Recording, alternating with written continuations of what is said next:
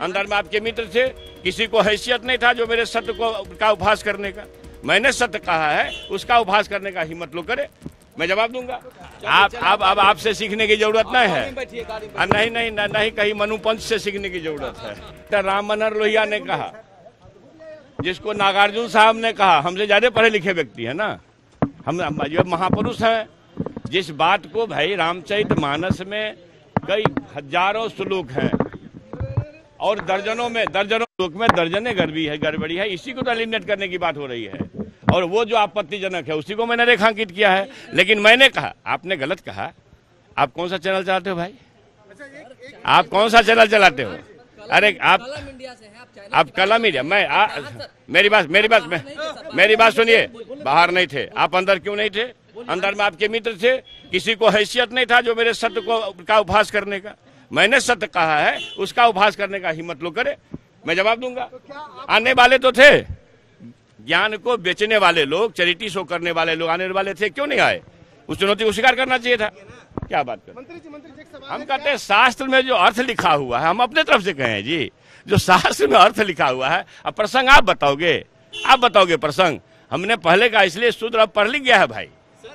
पढ़ने आता है, जब नहीं पढ़ने आता था, जब पढ़ाई वंचित था। बाबा साहब अंबेडकर का आशीर्वाद, कृपा, महात्मा फूले, पेरियार लोहिया जी का है कि भाई जो आचार्य नरेंद्र देव जे- बी कलतानी और क्या कहते हैं, पंडित मनोली माई का बीपी सिंह साहब का, हमारा ये कहना है कि अगर शूद्र आज के तारीख में पढ़ लिख गया है, हज़ारों साल पहले उनको पढ़ने का मना था भाई, तब तो नहीं पढ़ता था। सुना, गाली को भी अपना समझा कि मेरे लिए सम्मान है आशीर्वाद है। लेकिन जब पढ़ लिख गया है शास्त्र का अर्थ समझ सकता है हिंदी अंग्रेज़ी पढ़ सकता है संस्कृत को पढ़ सकता है तो अब मान लीजिए कि आपत्तिजनक दी गई अपमानजनक कही गई बातों को आशीर्वाद और अमृत कैसे मान लेगा?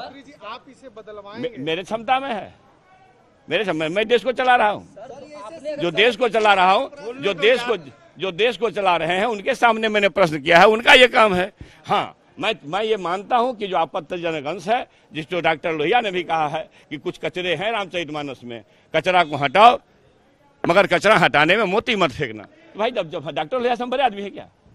डॉक्टर भीमराव अंबेडकर से बड़े आदमी हैं।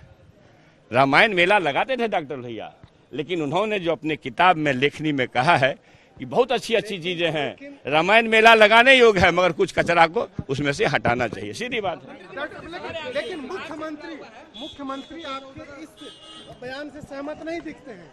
वो आप पूछिए ना। वो आप पूछिए। आपको लग अब क्या आप क्या समझे? ताड़ा तुम्हारा क्या हुआ? आप समझिए ना। हाँ तो ताड़ा था वहाँ वहाँ वर्ड है ताड़ना ताड़ना। बड़ा रो नो है। हाँ तो तो नो तो का फ़र्क है। है ना फ़र्क?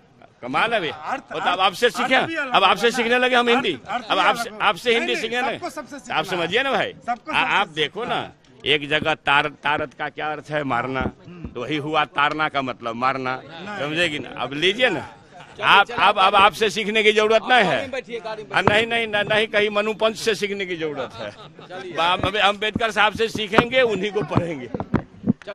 एक सापत तारत परुष कहंता विप्र पूजा से गाव ही संता पूजा विप्रशील गुणहीना शूद्र न गुणगन ज्ञान पर बिना। अभी एक पढ़ा हूँ ना दर्जनों बाकी है अभी तो एक दो पढ़ा क्यों ये? आखिर क्या क्या एजेंडा है? बैठाइए क्या एजेंडा है? एजेंडा ही देखिए बात में सर एजेंडा क्या है भाई? अपमान जाति के नाम पर अपमान बंद करो। जेंडर के नाम पर अपमान बंद करो। यही है एजेंडा और क्या? अभी फिर आपको लगता है कचरा आपने कहा मैंने कहा है कि डॉक्टर लोहिया ने कहा है। मैं क्यों कहूँ? हम तो जो, जो हमारे महापुरुष का है। भैया हमने कहा कि जो महापुरुष के हैं उसी के लिखी हुई बात को मैं पढ़ा पिछले एक माह से जो आप रामचरित मानस एक महीना से आपको एक महीना लग रहा होगा मैं अट्ठाईस बरस से पढ़ रहा हूँ।